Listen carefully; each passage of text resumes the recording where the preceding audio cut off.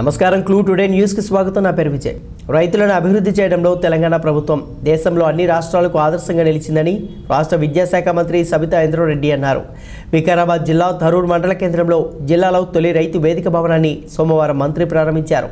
ఈ కార్యక్రమంలో Zilla Parishad chairperson Sunitha Mahender Reddy Chevella MP Ranjith Reddy Vikarabad MLA Methuku Anand Vikarabad జిల్లా collector Kousumi Basu అదనపు collector Motilal ZP vice chairman Vijay Kumar ZPTC Sujatha MPP Vijayalakshmi society chairman Satyanarayana market committee chairman Ramulu Rythu Bandhu అధ్యక్షులు రామరెడ్డిలు పాల్గొన్నారు.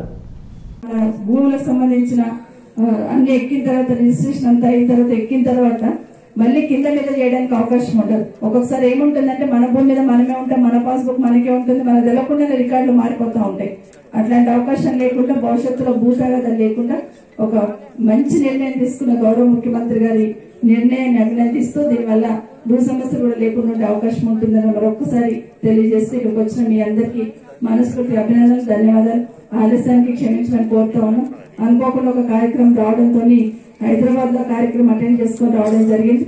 ఇంకా కొద్దిసేపు మీ దగ్గర ఉండేవాళ్ళం కానీ తాండల్లో transport minister గారు వచ్చారు గంట అయింది కాబట్టి వినే తొందరలో వెళ్తున్నాం. మరొకసారి వచ్చినప్పుడు తప్పకుండా ఇక్కడ ఈ మండలికి సంబంధించిన రోడ్ల విషయం కావచ్చు ఈ మండల్ డెవలప్మెంట్లో మీ శాసనసభ్యులు తప్పకుండా ప్రతి దాంట్లో ఇన్వాల్వ్ అయ్యి ప్రపోజల్ పెడతా ఉన్నారు.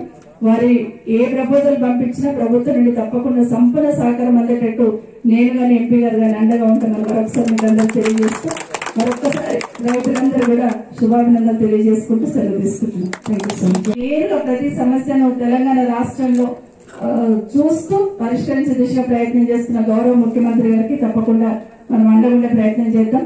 ఇంకొక మాట కూడా చెప్తా ఉంటారు ఇప్పుడు మా ముఖ్యమంత్రి గారు. రైతు అనేవాడు సంఘటితం అయితే అంటే ఒక దగ్గర కూర్చొని ఒకరి వ్యూస్ ఒకరు షేర్ చేసుకొని ఒకరి ఆలోచనలు ఒకరు షేర్ చేసుకొని నేను ఈసారి పంట వేసినాను పోయినసారి చేసిన నష్టం వచ్చింది వచ్చేసరి అయితే ఇది బాగుంటుందేమో అని ఒకరి ఒకరి ఆలోచన షేర్ చేసుకోవడానికి కూడా ఈ వేదిక ఉపయోగపడుతుంది. ఆ, తర్వాత మీ ఏఈఓ ఎవరైతే ఉన్నారో అగ్రికల్చర్ ఆఫీసర్ ఎక్స్టెంట్ ఆఫీసర్ ఎవరైతే ఉన్నారో వాళ్ళు ఖచ్చితంగా ఇక్కడ ఉంటే వాళ్ళకి ఒక ఆఫీస్ కూడా కట్టడం జరిగింది. తప్పకుండా అక్కడ తను ఎవ్రీడే ఉండాల్సిందే. మీకు ఏ సమస్య వచ్చినా ఇక్కడికి వస్తే చాలు మీకు తను రియాక్ట్ అవుతుంది. తన తెలియకపోతే శాస్త్రవేత్తలతో మాట్లాడి మీకు సలహాలు సూచనలు కూడా ఇవ్వడానికి అవకాశం ఏర్పడుతుంది కాబట్టి ఖచ్చితంగా మీకు అందరికీ ఇది బాగా ఉపయోగపడుతుందని కూడా కోరుకుంటూ ఒక మాట చెప్తూ ఉంటారు కేసీఆర్ గారు. రైతు అనేవాడు సంఘటితమైతే ఖచ్చితంగా పాలు పండించిన పంటను వాళ్ళకి ధర నిర్ణయించే స్థాయికి ఎదిగినప్పుడే నిజంగా రైతు సంతోషంగా ఉంటుంది అనేది ఎప్పుడు చెప్తా ఉంటారు. ఆ దిశగా ఎదగటానికి ప్రభుత్వం నిరంతరం ఇవ్వనట్టుంది. రైతు బంధు కావచ్చు రైతు బీమా కావచ్చు ఇలాంటి కార్యక్రమాలు అందిస్తూ ఇరవై నాలుగు గంటలు కరెంట్ ఇస్తూ నిరంతరం మీ వెన్నట్టు ఉంటుంది గౌరవ సింగిల్ చైర్మన్ గారు సత్యనారాయణ రెడ్డి గారు చెప్పినట్టు గోడౌన్స్ అనేది కూడా ముఖ్యమంత్రి గారు ప్రధానంగా ప్రయారిటీగా పెట్టుకున్నారు. రైతు పండించిన పంటని ఇమీడియట్గా అమ్మడానికి ఇష్టం లేకపోతే గోడౌన్లో పెట్టుకోవడానికి రైతుకు అందుబాటులో ఉండేటట్టు ప్రతి సింగిల్ విండో సొసైటీలో గోడౌన్ కట్టాలని నిర్ణయించుకున్నాం. తప్పకుండా కలెక్టర్ గారు ఇక్కడే ఉన్నారు కాబట్టి వీలైనంత తొందరగా ల్యాండ్స్ అలర్ట్ చేస్తే గోడౌన్స్ కడితే రైతులకు ఉపయోగకరంగా ఉంటుందని కూడా ఆలోచిస్తా ఉన్నాం కాబట్టి తొందరగా చేయడం జరుగుతుందని కూడా తెలియజేస్తూ దాంతోపాటు ముఖ్యమంత్రి గారు మాకు అందరికి ఒక మాట చెప్పారు. ప్రతి నియోజకవర్గంలో ఇరవై ఎకరాలలో గోడౌన్ కట్టండి అని చెప్పారు. దానికి సంబంధించి కూడా ల్యాండ్ అలాట్మెంట్ మీ ఎమ్మెల్యే గారు ఇప్పటికే ఇచ్చున్నారు. అక్కడ కూడా గోడౌన్స్ కట్టడం జరుగుతుంది. ఇవన్నీ కార్యక్రమాలు కూడా రైతుకు మేలు జరగడానికి తీసుకుంటున్న స్టెప్స్ అని కూడా మీకు తెలియజేస్తున్నా. పంట పండించినప్పుడేమో పంట కాబట్టి రైతు వేదిక అంటే రైతులకు అవగాహన గురించి రైతులు మాట్లాడుకొని ఏ పంట వేస్తే బాగా పండుతుంది ఏ పంట వేస్తే బాగా లాభం వస్తుందని మాట్లాడుకోవాలంటే ఈ రైతు వేదికలను ప్రారంభించడం మన కేసీఆర్. మన మన మండలంలో ఏడు క్లస్టర్లు ఉన్నాయి. అన్ని దాదాపు దగ్గర దగ్గరకు వచ్చినాయి మొత్తం తయారైనవి. కాబట్టి మన రైతు వేదికలను ప్రారంభం రైతు వేదిక అంటే రైతుల సమస్యలు. సమస్యల గురించే ఈ రైతు వేదికలు మన కేసీఆర్.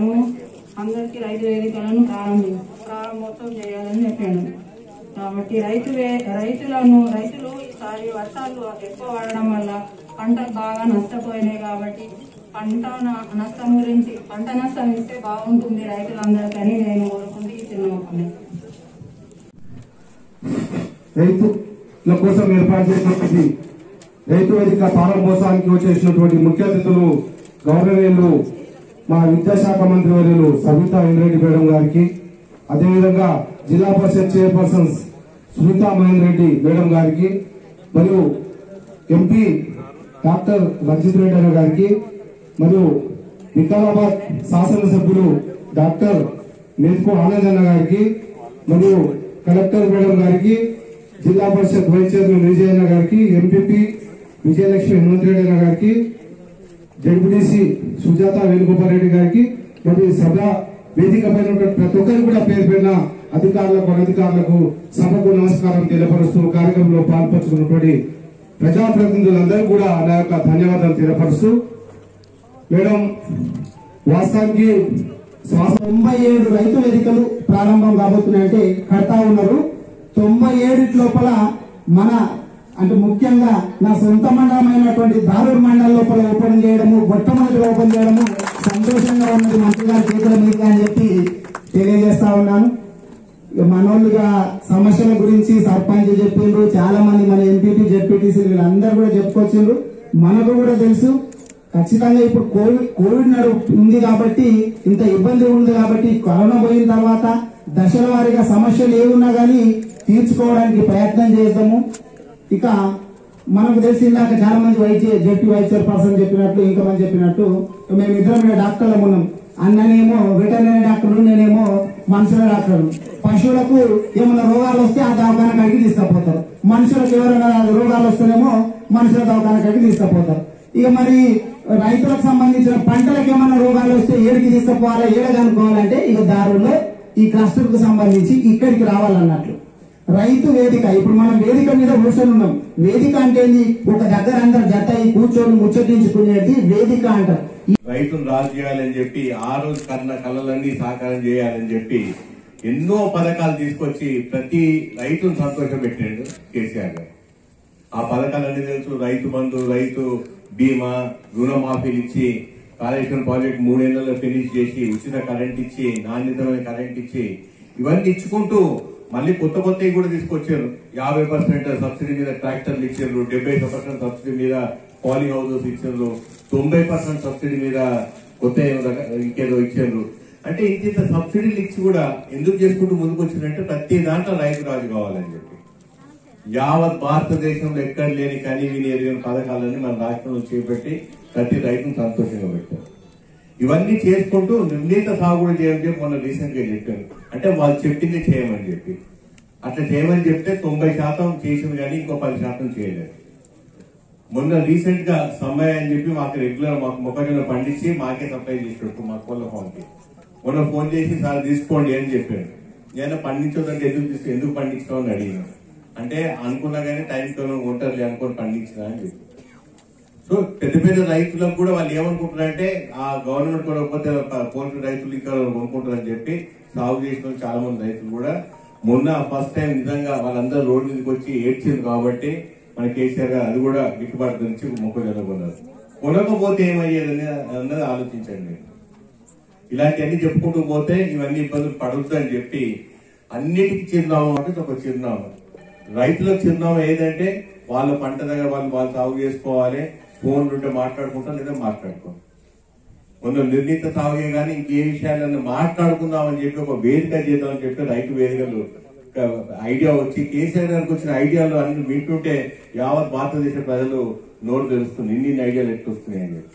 ఫలితాల నుండి ఇప్పుడు రైతు వేదిక వరకు నిన్న ధరని రెవెన్యూ చట్టాన్ని తీసుకొచ్చి ప్రతిదీ ప్రతిదీ అంటే చెప్పి చెప్పినట్టుగా ఊహించి ఊహించిన కంటే ముఖ్యంగా కొడంగల్ కూడా కొన్ని ఇచ్చినాము ఇంకా ఇట్లా రైతులకి రోడ్లకి మంజూరు చేయడం జరిగింది.